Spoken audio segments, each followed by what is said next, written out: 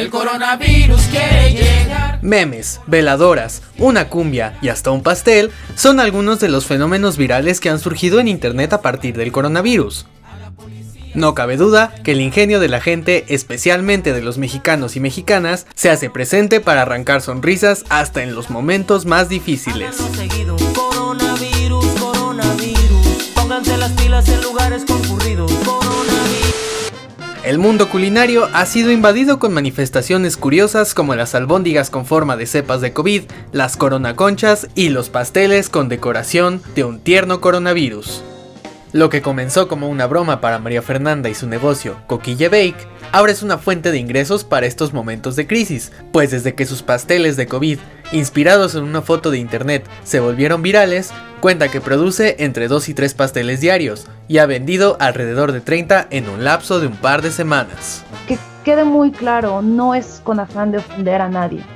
Eh, no, no, para nada. O sea, esto lo hacemos meramente para poder por dos cosas, para poder eh, ayudarnos a, mantenernos eh, económicamente, aunque sea un poquito, y también para hacerles pasar un buen rato a las personas que nos los piden.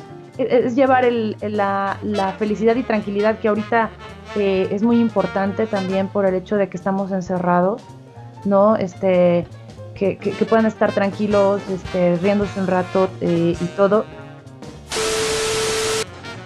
el ocio y el tiempo libre que han tenido los ciudadanos por la cuarentena ha servido para la creación de videos virales en redes como TikTok y Twitter, que buscan retratar de forma divertida cómo se vive el periodo de confinamiento.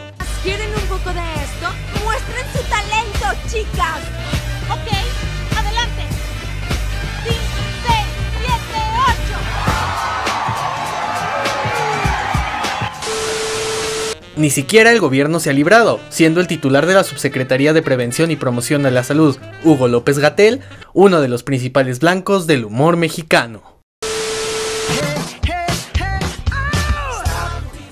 Y bien dicen que si no puedes contra ellos, eh, te les unas. Eso es precisamente lo que muchas autoridades como el IMSS y la policía de Quintana Roo han intentado, usando la risa y diversión para esparcir mensajes como lavarse las manos y mantener la sana distancia. Hola, soy Susana Distancia.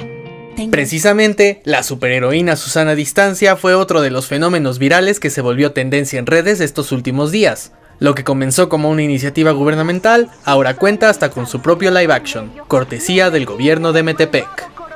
Yo soy Susana Distancia. ¡Hasta la próxima!